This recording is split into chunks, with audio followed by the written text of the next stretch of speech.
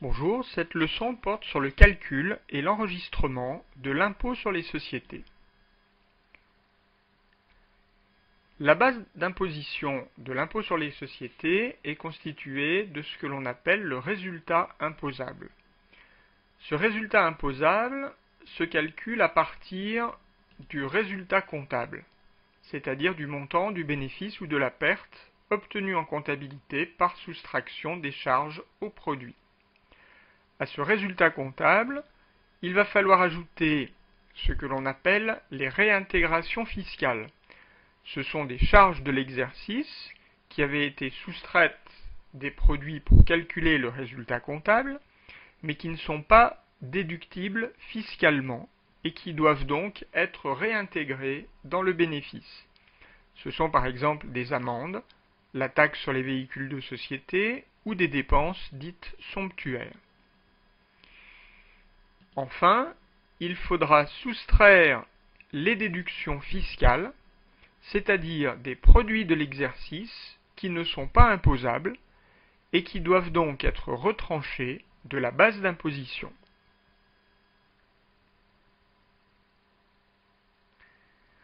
Ce résultat imposable ou résultat fiscal va nous permettre de calculer l'impôt sur les sociétés.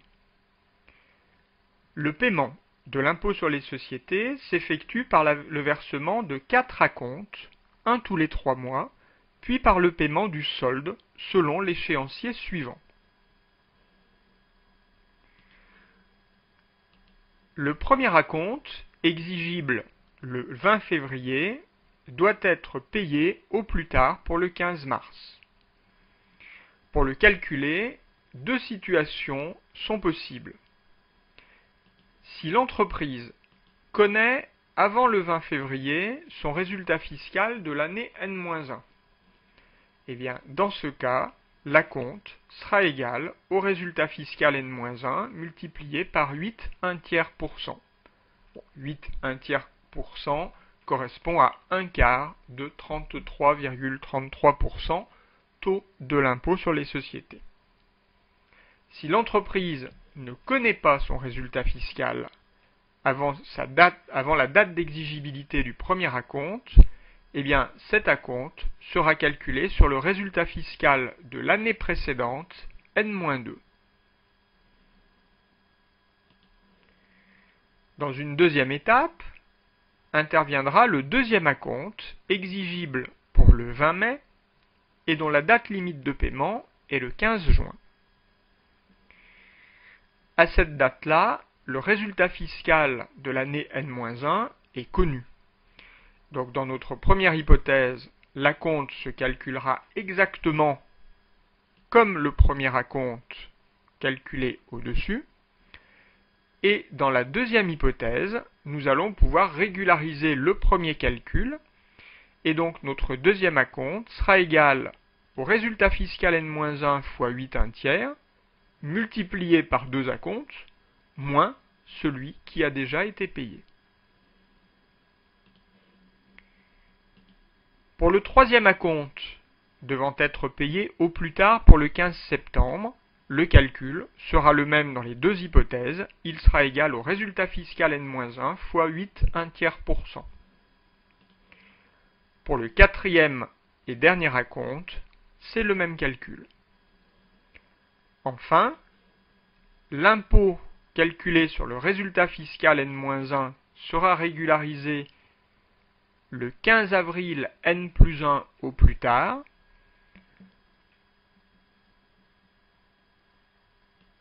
Ce solde sera égal au montant de l'impôt qui a été calculé, moins la somme des quatre acomptes déjà versés.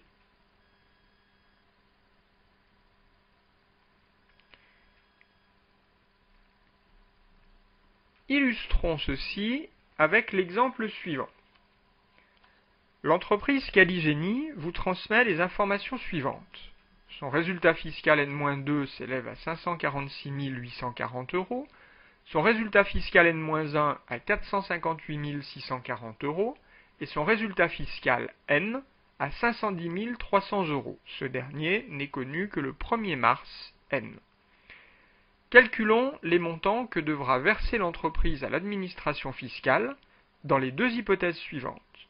Dans la première hypothèse, l'entreprise connaît son résultat fiscal N-1 le 15 janvier N, et dans la deuxième hypothèse, elle ne le connaît que plus tardivement, le 20 mars N.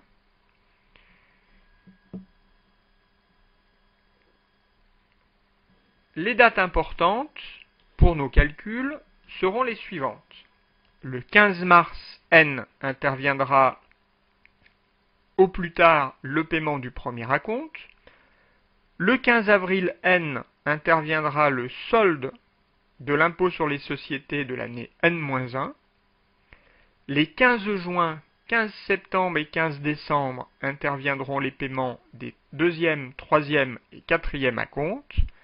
Et enfin, le 15 avril N plus 1, nous régulariserons le solde de l'impôt sur les sociétés de l'année N. Commençons par faire nos calculs dans la première hypothèse où l'entreprise connaît son résultat fiscal N-1 le 15 janvier N. Par conséquent, pour son premier acompte, elle peut utiliser ce résultat fiscal N-1 qui est connu. Le premier acompte sera donc égal à 458 640 euros fois 8 1 tiers pour cent. C'est le même calcul qui sera réalisé pour les deuxième, troisième et quatrième acomptes.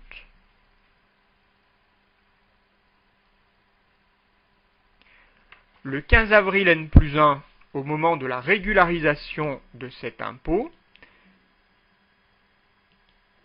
l'entreprise sait qu'elle doit à l'État 510 300 fois 33 un tiers, 510 300 étant son résultat fiscal de l'année, et elle ne paiera donc que cette somme auquel elle va soustraire les quatre acomptes déjà payés. Ici, elle ne devra plus payer que 17 220 euros. Dans l'intervalle, elle aura régularisé le 15 avril N le solde de l'impôt sur les sociétés de l'année N-1 en raisonnant de la même manière. En l'occurrence, l'impôt de l'année N-1 sera calculé sur le résultat fiscal de cette même année, 458 640 euros, fois 33 un tiers pour cent, et elle ne paiera que cette somme, auquel elle retranchera les acomptes déjà versés, qui auront été calculés sur le résultat fiscal de l'année précédente.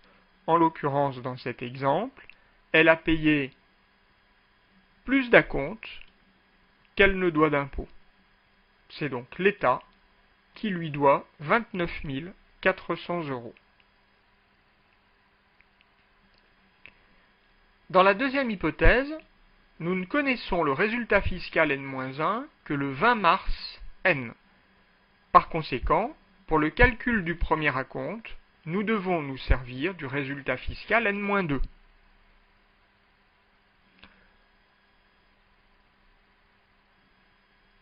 Pour le deuxième acompte, le résultat fiscal N-1 étant connu, nous pouvons régulariser et calculer le résultat fiscal N-1 fois 8 1 tiers fois 2 acomptes, moins la somme qui a été payé pour le premier acompte. Il nous reste donc à payer 30 870 euros. Nous remarquerons que la somme du premier et du deuxième acompte est la même dans la première ou la deuxième hypothèse. Pour les acomptes numéros 3 et 4, le résultat fiscal N-1 étant connu, le calcul est le même que dans la première hypothèse. Au moment de la régularisation, le 15 avril N plus 1, nous raisonnons comme nous l'avions fait tout à l'heure, en calculant le total de l'impôt sur les sociétés dû et en retranchant la somme des quatre acomptes versés au préalable.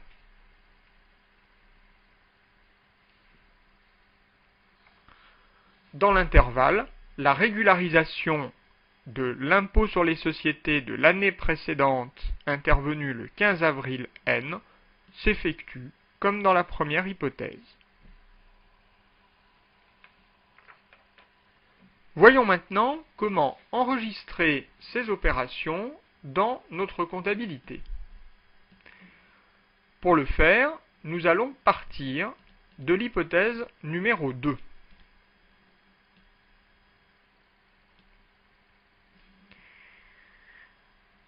La première chose à enregistrer est l'acompte du 15 mars. À cette date-là, notre entreprise paye 45 570 euros à l'État. Par conséquent, nous créditons le compte banque pour constater le flux monétaire de sortie et nous soldons la dette d'impôt sur l'État.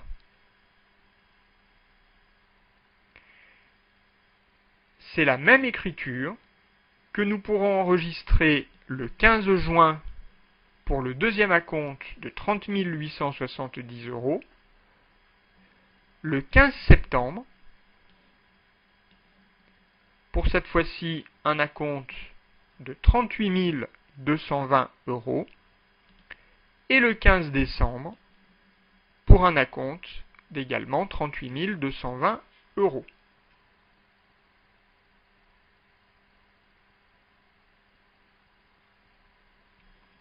Il s'agit le 15 décembre du quatrième acompte.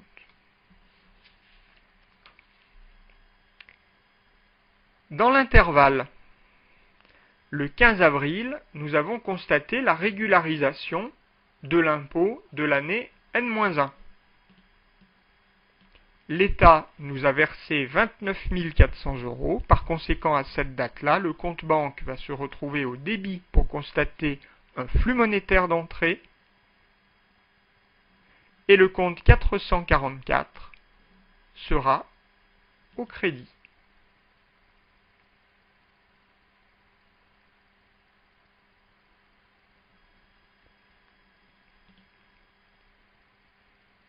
Il nous reste à enregistrer l'opération du 31 décembre N. À cette date-là, nous constatons l'impôt sur les sociétés de l'année N. Cet impôt sur les sociétés est égal à 510 300 fois 33 un tiers, c'est-à-dire 170 100 euros. Cette charge s'enregistre au débit du compte 695 et au crédit du compte 444 État impôt sur les bénéfices, nous constatons la dette qu'a l'entreprise sur l'État. Le 15 avril N plus 1, nous constaterons enfin la régularisation de l'impôt et le paiement à l'État de 17 220 euros en créditant la banque et en débitant le compte 444 pour liquider l'impôt sur les sociétés de l'exercice N.